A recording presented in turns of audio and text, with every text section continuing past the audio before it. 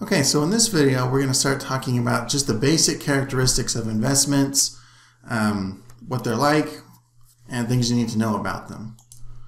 Okay, so the first thing we're going to start off talking about okay, is our plan of action for investing. Things you need to do and consider and think about when you're thinking about getting started investing. Okay, so the first thing you need to think about is what's going to be my asset allocation. Okay, asset allocation just means the percentage of your investments that are in stocks versus the percentage that are in bonds versus the percentage that are in cash. Okay, and that outline is really important because that determines over 93% of the performance of your uh, portfolio, of your investments. Okay, and actually it doesn't matter that much uh, if you choose Apple stock or Google stock. What matters is if you choose stocks or if you choose bonds. Okay, and there's a lot of research to back that up, thousands of research papers, and over and over and over, the research consistently shows that what matters is your asset allocation. How much of your overall collection of assets, which we call your portfolio, is in stocks versus how much is in bonds. That's what's going to determine your long term results, far more than picking and choosing each individual stock. And so, as individuals and professional financial planners, we don't pick stocks. We don't we don't do that. We don't try to guess when a stock's going to do good, when it's going to do bad. We don't try to predict when the market's going to go down or when the market's going to go up. Okay, all the evidence suggests that this simply cannot be done reliably enough to use to plan your retirement with. Okay, so if you want to do that, if you have fun picking stocks in the stock market, that's fine. But you need to do that uh, as recreation, as fun. Okay, have your retirement account over here that you just set an asset allocation and forget it. And then you need to have a separate fund over here that's just for fun, that you play with, that you try to beat the market in. Okay, and if you make some money in it, great. If not, your retirement's not compromised. Okay, so you need to think about that though. Now, stocks are like the gas pedal. Okay, they make you go faster, they get you a higher return, but just like in a car, the faster you go, the more likely you are to crash. Okay, so stocks are they'll give you a higher return, but they also give you higher risk. And so you need to think about how much risk am I willing to take in order to get uh, and earn some interest, and and not take more than that amount of risk. Okay. Uh, next, you need to think about how interested am I in selecting my investments and tracking them, paying attention to them. Okay, do I want to do it myself? Want to figure it out, study it out, or do I want to hire an expert to help me? Okay, and there are, are some cost-effective ways to get some expert help. Okay, which I'll talk about later. Okay, which instruments should we be using? Do I do stocks? Do I do bonds? That's all part of your asset allocation question. Okay, and lastly, you need to think about first how much liquidity I need. Second, how much risk can I accept? And third, what rate of return do I need? What interest rate do I need? Okay, and you can calculate the interest rate that you need. It's a simple time value of money problem. If I need to get to $3 million and I have 150000 and I can save 500 a month, what interest rate do I need to earn? You can calculate that with your calculator.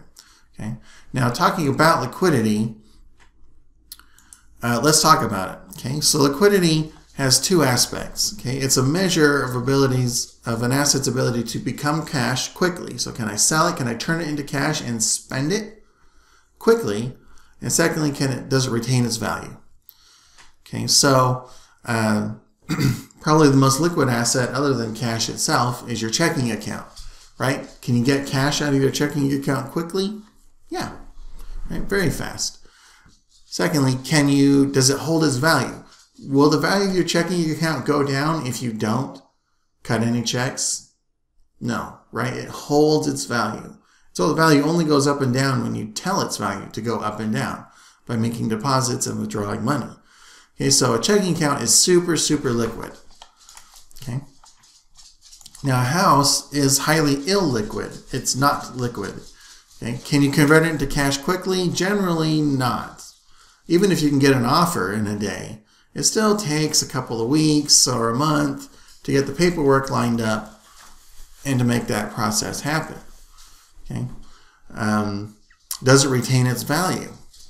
Mm, generally, yes, but it can lose value. Okay, we saw a stock market crash and a real estate market crash in 2008. Okay, but it may does doesn't have to be that. What if what if your neighbors sell their house and move and someone else comes in and they have four big dogs that are really loud and the house gets really run down and it looks really gross? That's going to affect the value of your house negatively. Okay. Uh, what if the city decides to build a new dump and it's right next to your house? Okay. Well, that's really going to hurt the value of your house too. So houses can't be sold very quickly and they don't retain their value. So they're highly illiquid. Okay. Stocks are kind of in between. Most stocks can be sold very quickly, but do they retain their value? Will you be able to sell it for what you paid for it? Ah, that's that's a bit of a different question, right? It's a bit iffy. Sometimes it's up, sometimes it's down. Okay, so you can sell it quickly, but it doesn't necessarily always retain its value. So it's kind of moderately liquid. Okay. And the thing to keep in mind is that the more liquidity you have, the less return you're going to get. Okay, so your checking account, what interest rate does it pay you? Half a percent? Quarter of a percent? Maybe 1%? Very little, right? Your checking account pays you almost no interest. That's because it has, first, very high liquidity, and secondly, it's very, very low risk. And when you combine those two things, you get an asset that pays you very little. Okay. Now that's okay though, because the purpose of your checking account is to be there, to let you engage in transactions, buy things, right? Its purpose is to be there and be spent. And so when you think about it that way, it makes perfect sense that a checking account is important to have, but it's not going to give you a high rate of return. Okay, that's okay because that's not its job. When you're saving for retirement, though, you need to take some risk and you got to get rid of some liquidity because you need to get a good return because that will help you tremendously to be able to have enough money saved up to retire comfortably. Okay? But you can't get more return without more risk and or less liquidity. Okay, and that's an important point. Okay. So here's our investing pyramid. This was in the readings. Okay. So as you start at the bottom, those cash and cash equivalents, those FDIC accounts, that's your checking and savings accounts. Okay, they're super liquid but and super safe, and that's why they're on the bottom of the pyramid. Okay, so they're at the bottom. The money in your checking account, savings account, that's safe. That's as safe as any money can be. Okay, as you go up the pyramid though, your ability to make more money on these assets goes up, but you also get an increasing risk of losing your money. Okay, so options and futures, these are sophisticated, complicated financial instruments. Okay, and they have no place in most people's uh, retirement portfolio. Okay, if you're going to use those, you need to be a sophisticated investor or a business person or someone who's using them very carefully because they're very, very complicated. And as a general rule, if you don't understand something, you shouldn't buy it. Okay, so they're very complicated, but they're also extremely risky. Okay, you can invest $1,000 and lose $3,000 with an option. Okay, that's extreme amount of risk. On the flip side, you can invest 1000 and earn 3000 okay, but you can't get a chance to earn more without increasing the chance that you'll lose more. Okay, so options, futures, collectibles, those are all very high risk and are not a very good idea for most people to own. Okay, collectibles is like cars or any of your, a lot of people for a while were collecting uh, Beanie Babies. Okay, I remember in high school hearing people say, oh yeah, my mom and dad, they're buying Beanie Babies and they're going to sell those Beanie Babies to make a fortune. It didn't work out. Okay, or if you've ever watched uh, one of those pawn shop shows or something like that, uh, one of those storage unit shows, collectibles just if you get just the right one, you get really lucky. You can make a lot of money, but most of them lose all of their value or most of their value. That's what we mean by high risk. Okay, you might make a lot of money, but you're probably just going to lose a lot. You might think, okay, so the assets at the bottom of this pyramid, those are the best ones because they're safe. That's good. But they have problems too. Okay, so yeah, as you go down the pyramid, you get safer. Less chance to lose the money you've put in, but you also, because you're not earning very much interest, you also have a much bigger chance of losing purchasing power. Remember, I talked about inflation in the introduction to this unit.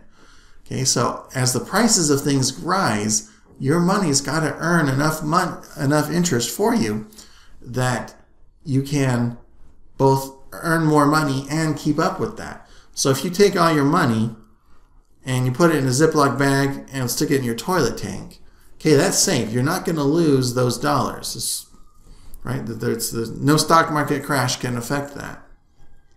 But you're going to be falling behind because the prices of everything out there are increasing. Okay, and so you don't want to keep too much money at the bottom of the pyramid either. The top is too risky, it's too dangerous, but the bottom is too safe. Like you need to get more return.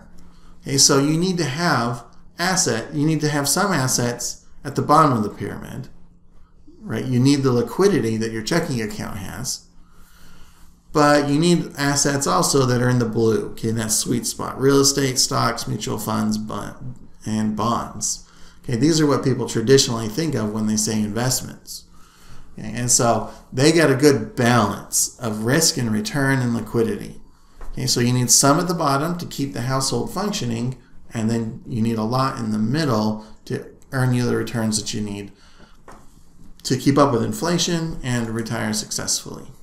Now, I talked in the intro a little bit about keeping your eye on the target. Sit down and calculate how much you need. What what are you going to need? First, uh, sometimes it can be simple and you can use the, the tools we've used in this class to calculate it, but sometimes it can get very complicated. Okay, don't be bashful about calling a financial planner and asking for help.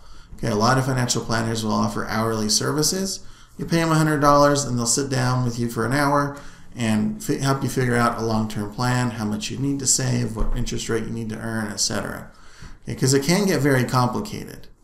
Okay, it doesn't have to be. Okay, but once you figure out what you need, don't get greedy. Okay, just focus on getting what you need and not taking too much risk. Because it's when people start taking more risk to make more money, they get a little greedy so they start gambling more and more and more to try and get more and more returns. That sets them up for a colossal failure, a catastrophe.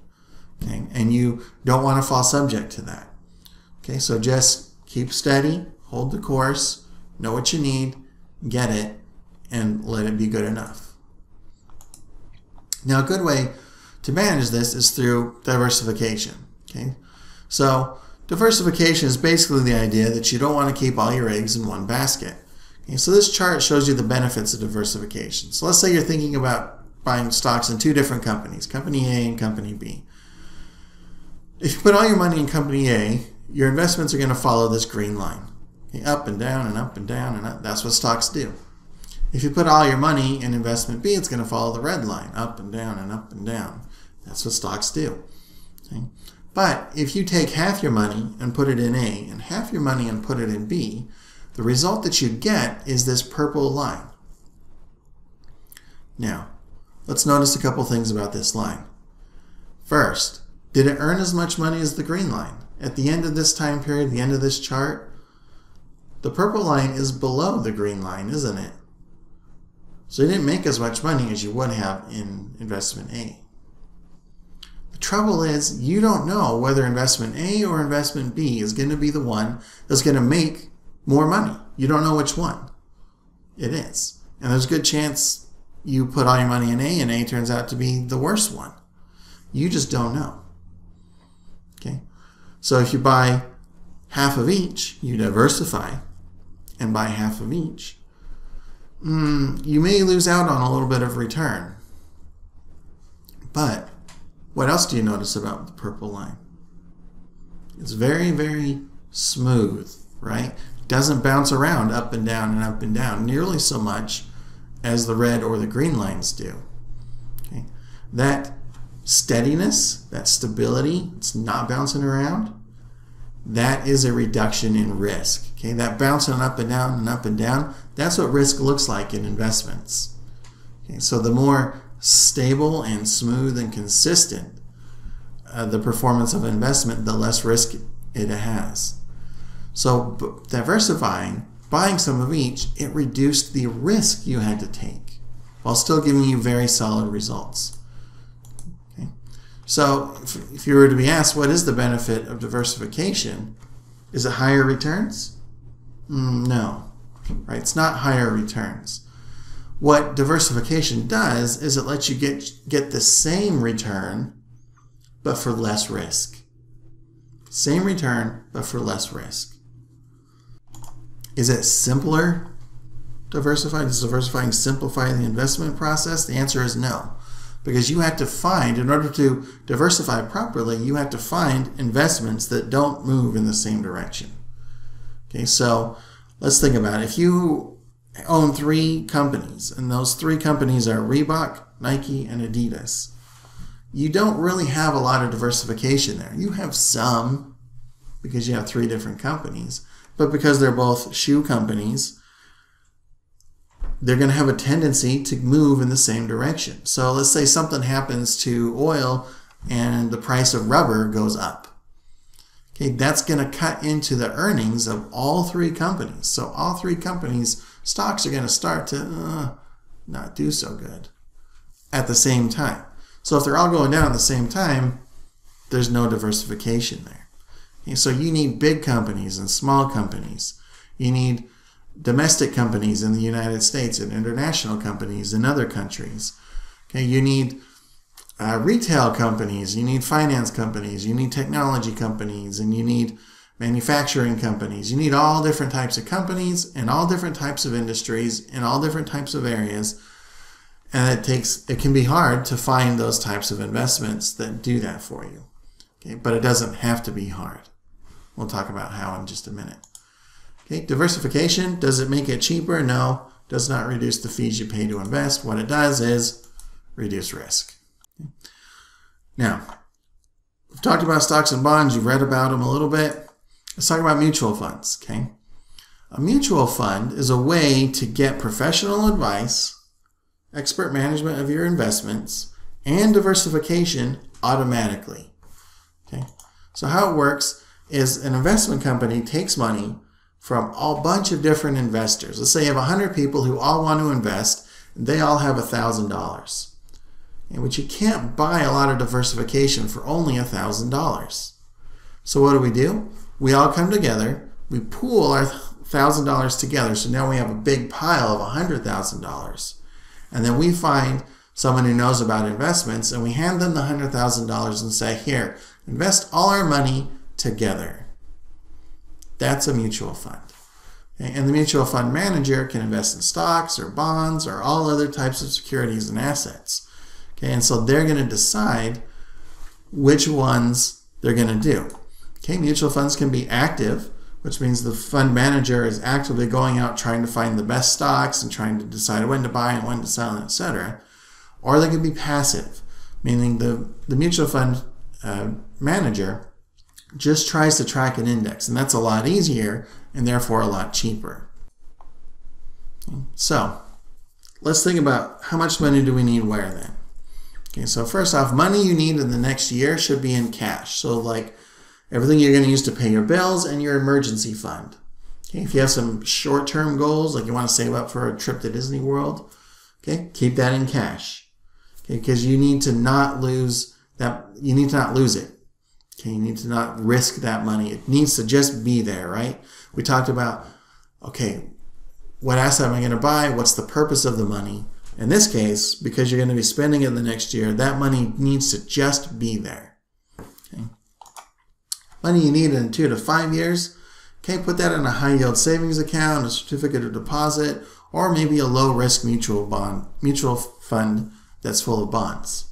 You can hold it for the short term you're going to afford to take a little bit more risk here, but you also uh, need to not take too much risk because you, you don't have a lot of time to recover if you should lose money in any of these assets. Okay? Money that you're going to hold for 10 years or longer, that's where you're going to want to buy stocks through a stock market mutual fund. Okay? Now, as a general rule of thumb, your asset allocation should be about 100 minus your age. So when you're 25, about 75% of your portfolio should be in stocks. When you're 50, about 50% should be in stocks. Okay, when you're 80, only about 20% should be in stocks. Okay, that's a very rough rule of thumb, but it can be helpful. Okay, now if you don't want to bother checking that, because if you want to, what this means is every single year you need to go in and change how much of your portfolio is in stocks, and that's a lot of work. That's a hassle, and a lot of people don't like to do that. Okay, so if you don't want to do that for yourself, take the time and manage that, then you want a target date fund. Okay, so what target date funds do is they it's a mutual fund where you set a date. Say, okay, I want to retire in 2070, let's say. So you pick the target date 2070 mutual fund. And what it will do is it will gradually reduce the amount of stocks you have in your portfolio at, over time. And so you don't have to go in and figure out how to adjust it to get the asset allocation that you want. It does it for you automatically. And research has shown that target date funds more than make up for their cost because that shifting of asset allocation is tremendously valuable. Okay, so they're a very good investment you should consider using.